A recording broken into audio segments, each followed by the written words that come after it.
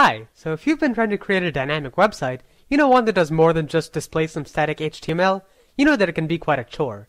So today, I'm going to try and show you a way to do that much faster using XAMPP with PHP. So let's get started. The first thing you're going to need to do is to make sure you have administrator privileges on your computer.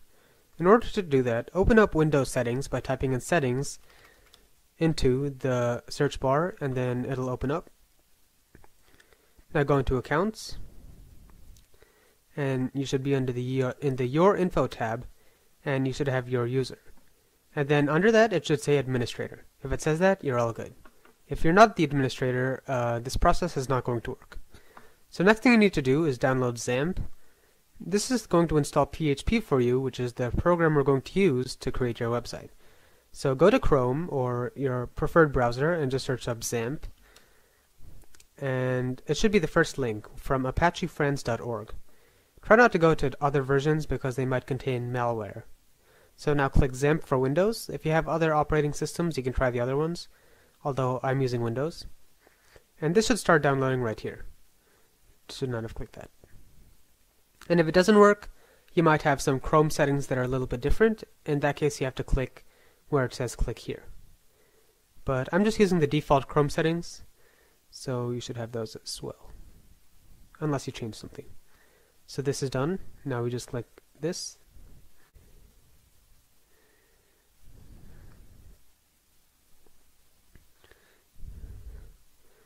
Okay, and now you're going to get a little pop-up box, unless you change some settings, uh, that uh, basically is complaining that you're installing something outside of the Microsoft Store. Just click install anyways.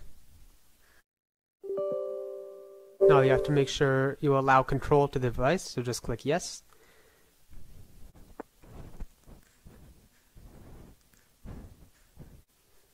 My computer is running a little bit slow. Yours is likely going to be faster. There we go. We have a little warning here. Just click OK. And now you just go through the setup. So just click Next. Everything here is totally fine. You can keep that. Click Next. Uh, C drive is going to be very convenient, so keep that. Or if it's not that, try to keep it in the C drive. Click Next. Language, uh, whatever your preferred language. I, I do English. Uh, this is fine, but you don't really need to learn more about it, so you can uncheck that. It's just going to open up a new tab, and it's a little bit annoying. So now you just go to the setup, and there it is. It's going to take a little bit of time on my computer, so I'm going to fast forward this bit, but uh, that's just because my computer is slow. In general, it's going to be pretty quick. It shouldn't take too long.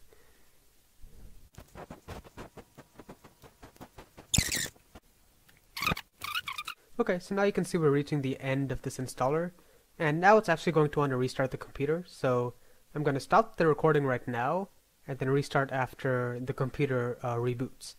Uh, let it reboot, it's going to do it automatically.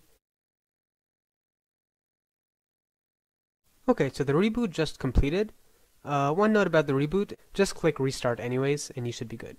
Now you want to start File Explorer, so just, you can go here and type Explorer and then open it up. Now you want to go to wherever you just downloaded XAMPP. If you remember, we did that in the C drive. So go to this PC, and then the C drive. And here you can see XAMPP.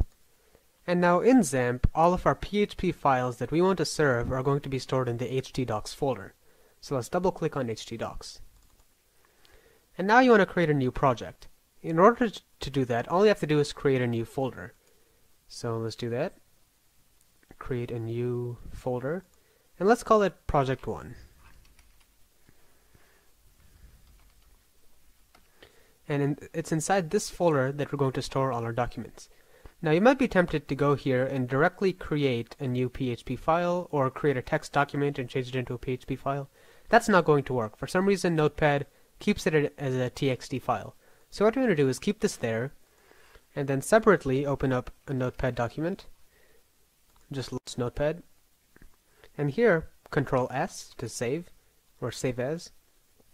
And oh it already put us here in project 1 now you, what you want to do uh, pay attention very carefully. Here you want to change the type to all files and then call it whatever you want .php the normal um, naming of this is index.php That's the home page of your site. So save that. It's going to be automatically served. And now this is your PHP file. Now to double check, go here, check your project one folder, and make sure this says PHP file right here. If this does not say PHP file, like if it says text document, it's not going to work. Uh, it's not going to serve your file properly. So now let's test this and create a PHP document. In order to do that, PHP is just an HTML document with some PHP code inside of it. So let's just write some HTML basically. Let's make a heading, h1, and let's say hello world. And just so you know I'm not cheating and opening up a separate tab, let's call it hello world. This is a PHP file. And let's close that tag. Okay, there we have. We have our index.php file in project 1. Now you want to serve this. So in order to do that, you want to open up your XAMPP control center.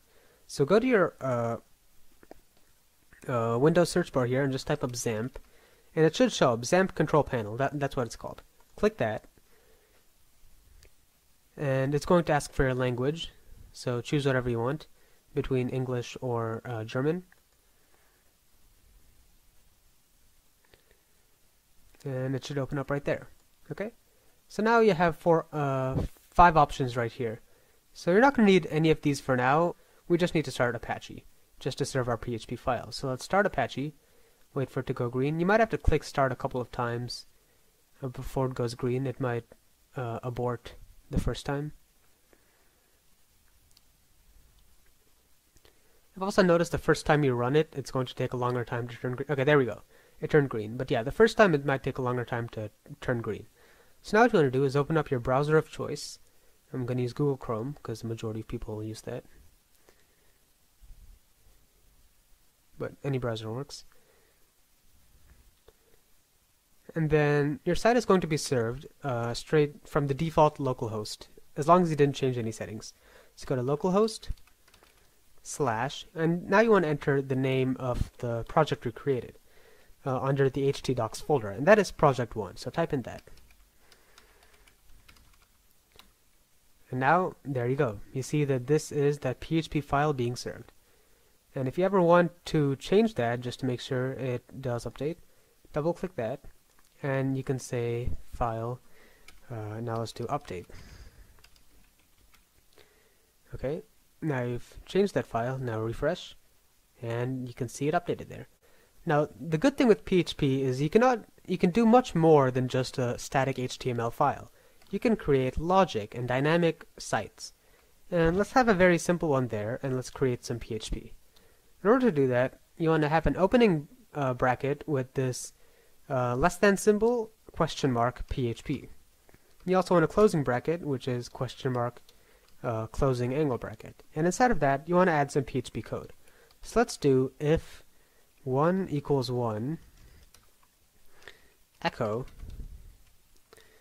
uh, inside the if statement.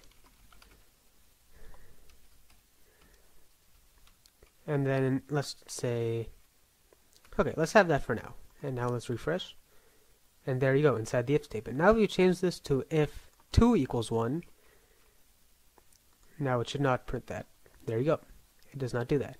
PHP can be a very powerful tool. In conjunction with a database such as MySQL, PHP can be used to create a fully functional web app. Case in point, Facebook was originally created and run using PHP. And finally, once you're done with your tasks, you can go over back to this control panel and then stop this. And that's it. Although other technologies may come with built-in security features and built-in authentication and some other goodies, I find PHP to still be the quickest and easiest way to create a web app, especially whenever you have a short amount of time. Thanks for watching. Like the video if you enjoyed it and subscribe if you want to see more content from me. I hope you found this helpful.